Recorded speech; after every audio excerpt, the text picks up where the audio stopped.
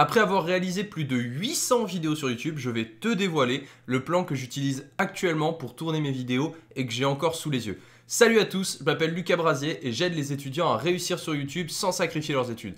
Donc si tu veux rejoindre des milliers de youtubeurs étudiants, abonne-toi à la chaîne YouTube et rejoins-nous. Dans cette vidéo, j'ai décidé de te dévoiler le plan complet que j'utilise pour bah, faire des vidéos sur euh, devenir youtubeur étudiant, cette thématique.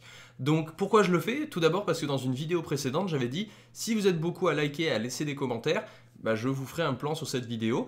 Euh, enfin, je vous ferai une vidéo sur mon plan, pardon. Et comme je tiens toujours mes engagements, je suis en train de le faire. Bon, le plan, tu vas pas l'avoir entièrement. Tu vas avoir par contre 80%. Ce qui reste, c'est des détails et la raison pour laquelle je ne te le donne pas, c'est que c'est quand même un document qui est compris dans une formation payante que je vends. Donc pour pas que les gens se sentent trop délaissés, je vais juste enlever trois petits points, mais tu vas avoir, on va dire, la structure majeure que je vais te retranscrire et que tu pourras réutiliser, faire des recherches dessus et l'adapter entre guillemets à ta manière. Donc dans un premier temps, c'est un plan qui se découpe en quatre étapes. Il y a euh, quatre lettres pour ces quatre étapes et la première étape c'est l'attention.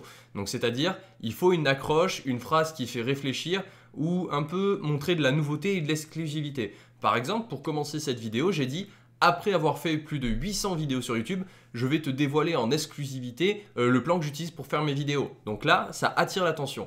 Pourquoi je fais plus des vidéos où je commence toujours par la même chose?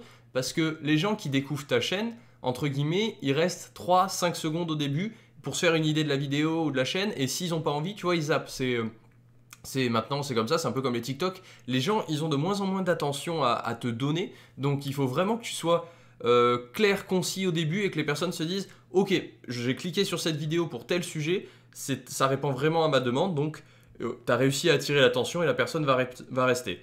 Après, dans un deuxième temps, ce qu'il faut faire, c'est répondre aux besoins, aux attentes, aux questionnements. Donc, c'est-à-dire que la personne, tu vois, elle s'identifie à ce que tu vas dire en disant, euh, bah, par exemple, là, si jamais j'avais fait une vidéo sur le plan, bah, ce que je suis en train de faire, je dirais, peut-être que toi, tu es en train de faire des vidéos sur YouTube, mais tu sais pas trop comment les structurer. Tu es là, tu fais tes vidéos, mais tu as l'impression que le taux de rétention, c'est-à-dire le temps où les gens restent sur ta vidéo, il est de plus en plus faible et tu n'arrives pas à capter leur attention, à trouver un peu la méthode pour faire qu'il reste un peu plus longtemps et avoir comme ça une communauté de vrais fans, de gens qui s'engagent, qui laissent des likes, qui s'abonnent à ta chaîne. Tu vois, là, c'est vraiment susciter l'intérêt. Là, tu as cliqué sur la vidéo et en te faisant ce discours, tu te dis vraiment, c'est ça que je veux, c'est ça que je veux. C'est En fait, c'est cet intérêt, en gros, que les gens se disent Ah ouais, comment il va faire Tu vois?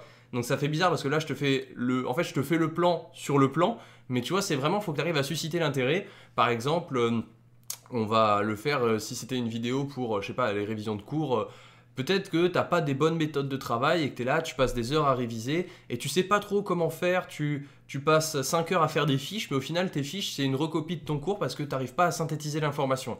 Tu vois, c'est vraiment susciter l'intérêt que la personne se retrouve et se sente identifiée à ton problème et à ce que tu soulèves.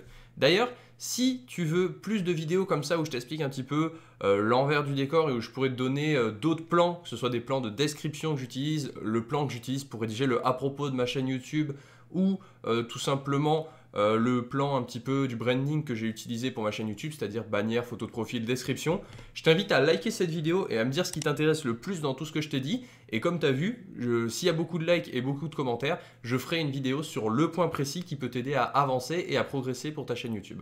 La quatrième, pardon, la troisième étape, c'est de, euh, comment dire, c'est de créer le désir. C'est-à-dire là, il va falloir toucher les émotions et donner envie à la personne d'aller plus loin. Donc là, il y a des arguments forts qui peuvent être utilisés. Donc pour t'en citer quelques-uns, il y a tout ce qui va être rareté, tout ce qui va être utilité, par exemple comment économiser du temps, de l'argent. Il y a aussi le fait d'appartenir et de rejoindre une vraie communauté. Par exemple, tu vois, nous on forme une vraie communauté, il y a beaucoup de gens qui interagissent, qui posent des questions parfois dans l'espace commentaire, ensuite on, répond. Donc voilà, c'est vraiment un esprit comme ça, il faut réussir à fédérer une communauté autour de ces projets. Donc là, créer le désir par exemple, euh, ça peut être de donner, tu vois, euh, on va reprendre la, méthode de révision. Donc on disait pour l'intérêt, peut-être tu n'arrives pas à trouver comment faire des fiches, euh, comment faire pour gagner du temps.